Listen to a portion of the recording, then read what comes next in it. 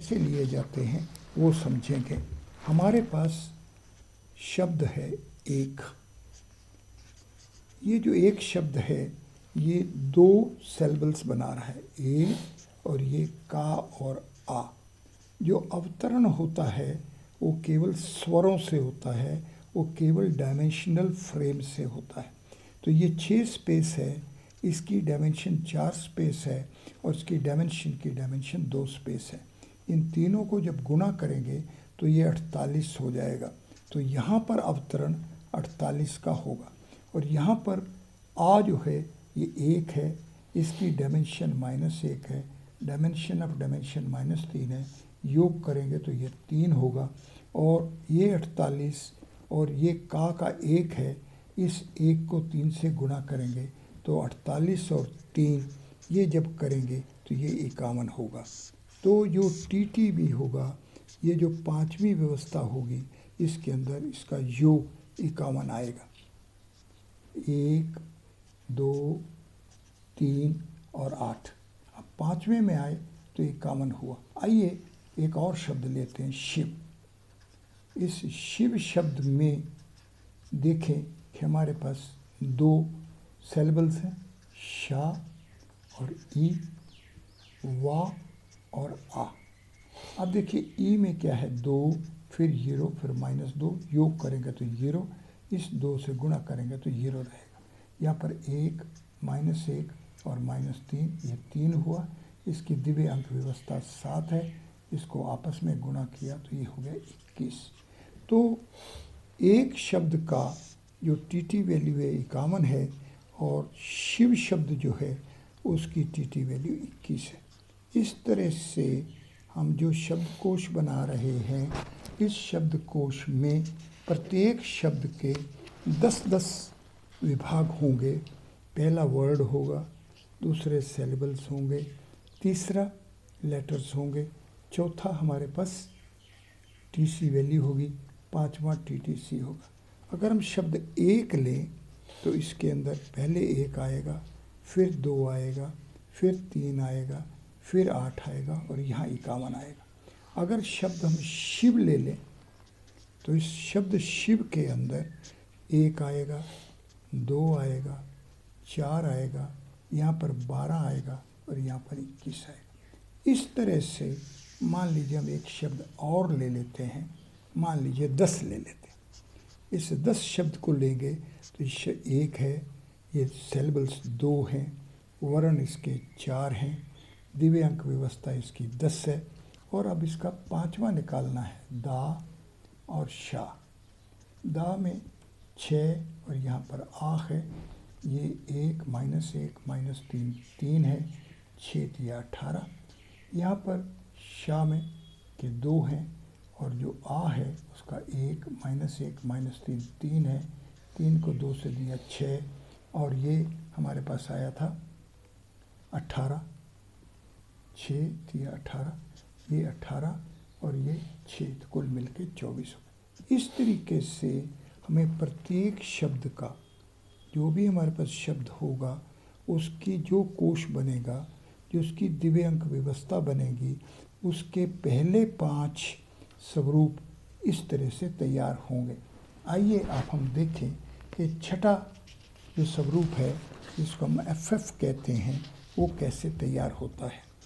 F F का मतलब है फार्मूलेशन फ्रीक्वेंसी कोई भी शब्द होगा, जैसे एक होगा, इसमें से ए, का और आ। इन सब का जब उच्चारण होगा तो ये होगा एक का रहा ये होगा का कारा यह होगा आकारा अब ये जो कारा शब्द है इसका दिव्य अंक बीस है। तो इसलिए ये छः की जगह पर जमा बीस छब्बीस हो गया, ये का एक की जमा बीस इक्कीस हो गया, ये आ का एक जमा बीस इक्कीस हो गया। कुल मिलाकर ये छब्बीस, इक्कीस, सैतालीस और इक्कीस अट्ठासठ तो हमारे पास जो एक शब्द है, इसका वर्ड में एक सेलबल में दो, इसके बाद लेटर्स में तीन, इसकी ट्रांसेंडेंटल कोड वैल्यू में आठ, इसकी टीटी वैल्यू में इक्यावन, और इसकी जो एफएफ वैल्यू है, वो हमारे पास अट्ठासठ आ गई। अगर शब्द हम शिव लेंगे तो इस शिव शब्द के अंदर पहले हमारे पास आ गया एक, फिर दो, फिर चार, फिर उसके बाद बारह फिर आया इक्कीस। अब देखेंगे, ये चार शब्द हैं तो चारों के साथ बीस बीस जुड़ के अस्सी और जुड़ जाएगा, या बानवे हो जाएगा। अब आ गया शब्द मान लीजिए हमारे पास दस। इसके अंदर व्यवस्थाएँ बन जाएँगी। एक, दो, चार, दस, चौबीस, और यहाँ पर बीस को चार से गुणा किया अस्सी और दस, यहाँ पर आ जाएगा नब्बे। इस तरीके से जो हमारे पास कोई भी शब्द होगा, उस शब्द की जो हम टीसीवी डिक्शनरी बनाएँगे तो असल में हम टीसीवी डिक्शनरी बनाने का तात्पर्य ये है कि हम चार स्पेस से हम पाँच स्पेस में जा रहे हैं, जिसकी बाउंड्री दस कंपोनेंट्स हैं। तो इन दस कंपोनेंट्स में से चार और छः का विभाजन हो जाता है और इसी तरीके से इसकी टीसीवी डिक्शनरी में दस भाग हो जाते हैं। पहला वर्ड फिर सेलेबल्स फिर लेटर्स फिर टीसी वैल्यू फिर दिव्यता अवतरण ट्रांसेंडेंटल रूप फिर उधर्व, स्थापना, उच्चारण। इन छः के आगे चार और भाग हैं जिनको हम कहते हैं कि फार्मूलेशन होगी इसके बाद हम कहते हैं इसका स्थापत्य होगा हाइपर क्यूब साइन है। उसके बाद हम कहते हैं कि ये पथ बनेगा ट्रांसेंडेंस का और दो ट्रांसेंडेंस के पथ रिवर के दोनों कोनों का मिलकर संयोग होगा। अब हमारे पास ये चार चीज़ें को जानना रह गया। इसमें से जो पहला है, इसको समझिए। हमारे पास शब्द एक है। हमने देखा कि ये छः एक और एक दिव्यांक बने। छः को देखें तो ये षठ है, ये एक है और ये एक है। इसके दिव्य अंक दस हैं, इसके दिव्यांक आठ हैं और उसके दिव्यांक आठ। क्या किया? फार्मूलेशन लिया, क्योंकि हमारे पास सारा ज्ञान इस रूप में है। इसको हमने दिव्य अंकों में परिवर्तित करा। दिव्य अंकों को दोबारा इनके फार्मूलेशंस में लाए और फिर दिव्य अंक में पहुँचे। ये दूसरी बार दिव्य अंक में क्यों पहुँच रहे हैं? क्योंकि हम चार स्पेस में हैं और चार स्पेस की जो डायमेंशन है, वो प्लेन है। इसलिए यहाँ पहुँचने के लिए फार्मूलेशन बनाने के लिए ये शब्द लिया, शब्द के दिव्य अंक लिए, इनकी फार्मूलेशंस बनाई और फिर इनका दोबारा दिव्य अंक लिया तो आठ आठ सोलह और दस छब्बीस तो यहाँ पर छब्बीस बन गए। अब ये जो हमारे पास छः था, ये हाइपर क्यूब छः होगा, ये एक था हाइपर क्यूब एक होगा, ये हाइपर क्यूब एक होगा। छः हम जानते हैं, ये बाईस है कि चार, पाँच छः सात है। चार, पाँच छः और सात है। हाइपर क्यूब एक में हम जानते हैं दो है, क्योंकि ज़ीरो, माइनस एक, ज़ीरो, एक और दो है, और यहाँ भी दो है। कुल मिला, मिलाकर हमारे पास छब्बीस हुआ। यहाँ भी छब्बीस होगा। इसी तरीके से अगर हम शब्द को दूसरा शब्द लें, शिव शब्द लें तो इस शिव शब्द में शा, ई, वा और आ है। अब यहाँ दो अंक है, यहाँ भी दो अंक है, यहाँ सात है, यहाँ एक है। दो का द्वय होगा। यहाँ भी द्वय होगा, यहाँ पर सप्त होगा और यहाँ पर एक होगा। इसका दिव्य अंक सोलह, इसका दिव्य अंक सोलह, ये चौदह और ये आठ, बाईस और बत्तीस चौवन हो गया। तो इसलिए जब शिव की व्यवस्था करेंगे तो इसमें जो एफ़ आएगा, ये हमारे पास चौवन हो जाएगा। अगर हम शब्द दस लें तो इस दस शब्द में उसी तरीके से छः एक दो और एक होगा, ये षठ होगा, ये एक होगा, ये द्वय होगा और ये एक होगा। ये हमारे पास दस, आठ, सोलह और आठ, बत्तीस और दस, बैतालीस। तो यहाँ पर एफ़ बयालीस होगा। अब इस तरह से जो छठा करेंगे तो यहाँ पर दो जो है, ये एच टू है, ये छः के बराबर है, ये भी छः के बराबर है ये एच सेवन होगा तो ये हमारे पास छब्बीस के बराबर होगा, एक जो है दो के बराबर होगा। तो जब बारह, दो चौदह और छब्बीस चालीस तो यहाँ पर जो एच होगा, वो फोर्टी होगा। और इसी तरीके से दस का निकालें, ये हमारे पास एक्सरसाइजेस होंगे। आज हम उन दस में से केवल आठ में पहुँच में पहुँचे हैं। W S L T T F F F और एच दो आगे करेंगे।